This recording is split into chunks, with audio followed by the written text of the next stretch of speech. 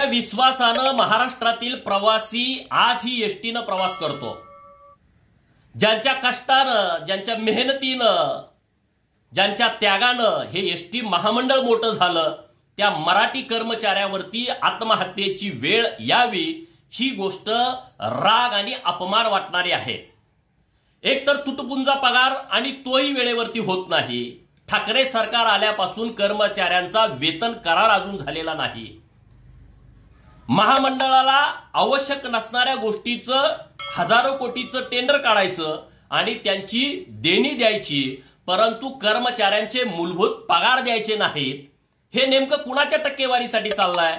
महामंडळातला सचिन वाजे नेमका कोण आहे याचा तपास करण्याची गरज आहे. या सगळ्या विरोधामध्ये युनियननं आवाज उठवायला पाहिजे परंतु युनियन प्रस्थापितांच्या तालावरती नाचत आहेत म्हणून महाराष्ट्रातल्या एस टी कर्मचाऱ्यांना मी आवाहन करतोय की आपण या सगळ्या विषयामध्ये एक लढा उभा करू. मी तुमच्या पाठीमागं ठामपणे खंबीरपणे उभा आहे. आपल्या माध्यमातून राज्य सरकारकडं माझं इतकंच मागणं आहे. जे राज्य कर्मचाऱ्यांना देता तेच एस टी कर्मचाऱ्यांना द्या. अन्यथा संघर्ष अटळ आहे.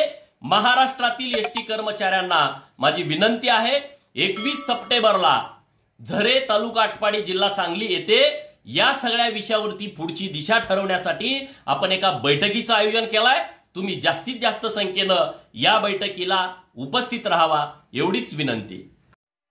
यूट्यूबवर सर्च करा तिसरा डोळा. तिसरा डोळा चॅनलला सबस्क्राईब करा.